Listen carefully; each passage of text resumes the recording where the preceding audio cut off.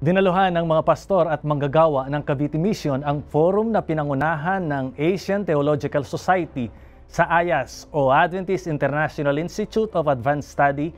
Doon ay nakinabang sila sa mga talakayan at pagbabahaging may kinalaman sa Trinity Doctrine ng Seventh-day Adventist Church.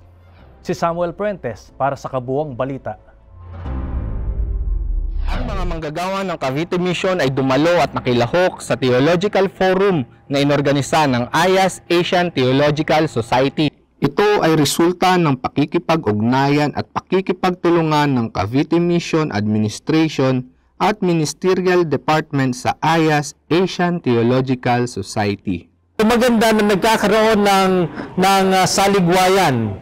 Saligwayan ng ng pananaw, saligwayan ng ng mga uh, gawain ng mga nasa field at ng mga nasa eskwelahan ano? Kagaya ng mga tanong kanina no? So merong merong presentasyon tungkol sa theoretical na theological na bahagi ano?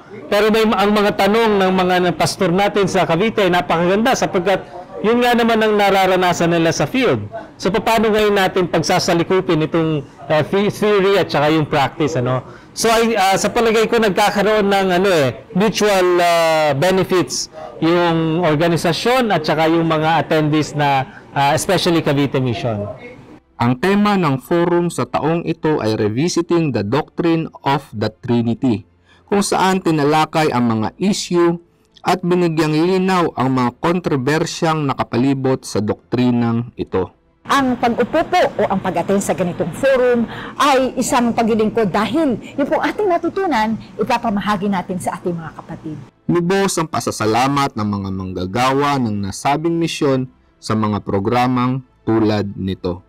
Ako'y thankful sa Panginoon na ang ating church, ang ating mga pamunuan ay talagang uh, pinagkakalooban nila ng panahon yung mga manggagawa na lumago professionally. And also as a pastor, this is our profession, our calling.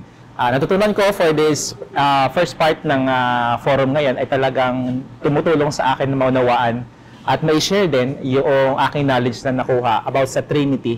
Mula rito sa Silang Cavite, layunin ng maghatid ng balitang may pag-asa. Ako po si Samuel Fuentes para sa Hope Today NPUC News.